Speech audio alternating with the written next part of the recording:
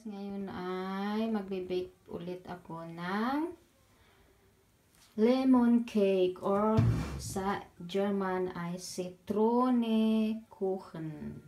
Ayan yung mga ingredients. Swa, ah, dalawang piraso na lemon. Ipipress natin yan. Uh, kukunin natin yung katas niya mamaya.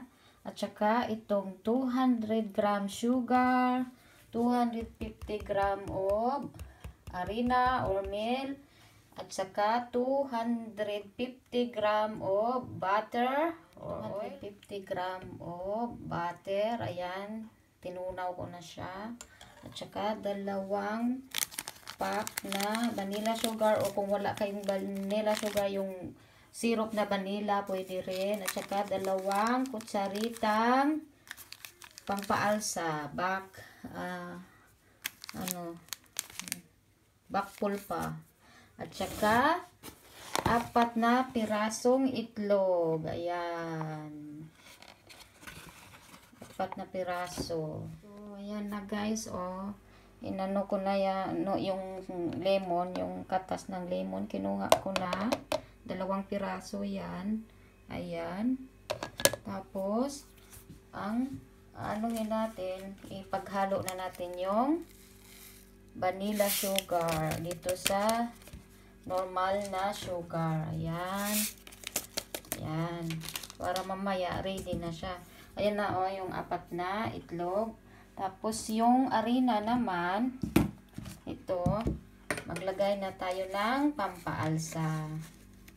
Dalawang, ano lang siya. Ayan. Hmm.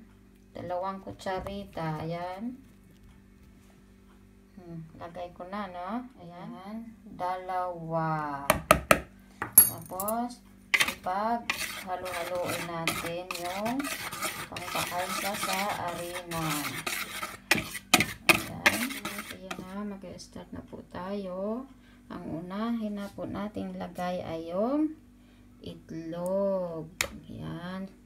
One by one po ang paghahalo.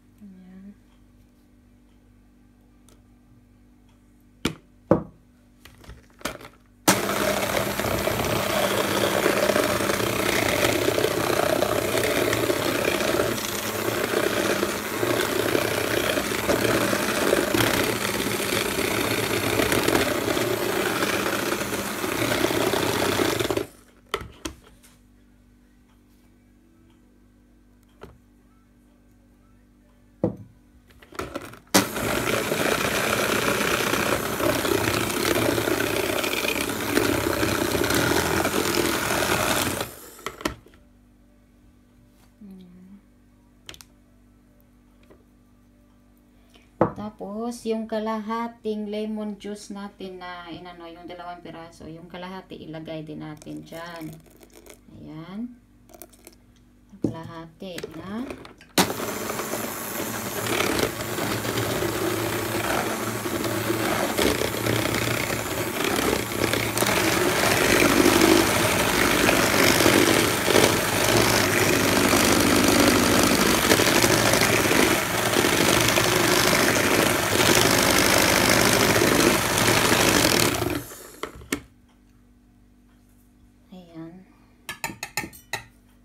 Tapos, ilagay din natin yung kalahating arena. Ayan. Tapos, ilagay din natin yung butter na yung minelted na yung gin, ano natin kanina melting ya. Yun. Kalahati muna.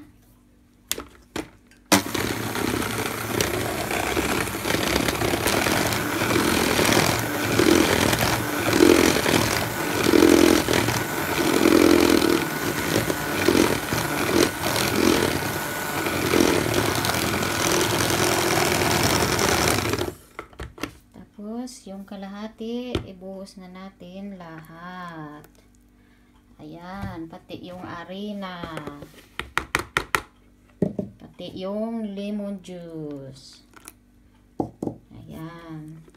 Tapos i-mix natin siya hanggang mag ready na ilagay sa ating back form. I-bake natin siya ng 180 degrees. Yan, i-check nyo ng 30 minutes kung okay, kung ano hanggang 45 minutes lang po. Okay, bye! See you later! Siya, ilagay na natin sa ating back form. Yung ganito. Sa dito. Yan, lagay na natin sa oven.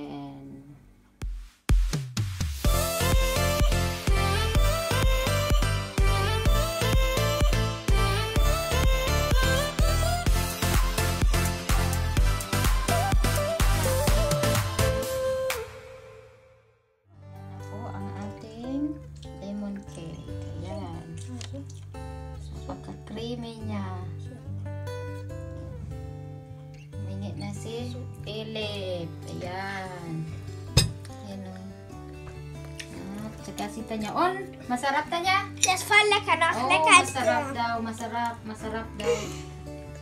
Masarap pa sa chocolate cake, sabi niya. Lemon cake. Ayan. Lemon. Sarap siya.